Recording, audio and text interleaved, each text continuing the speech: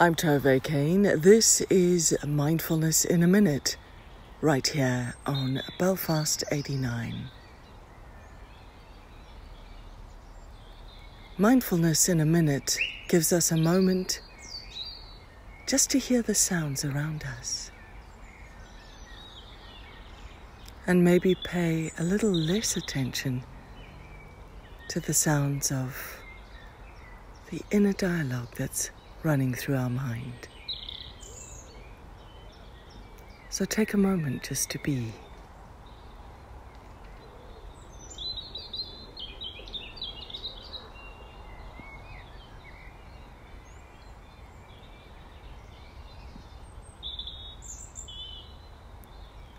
Just a few seconds can make all the difference. That's Mindfulness in a Minute. I'm Tove Kane on Belfast 89.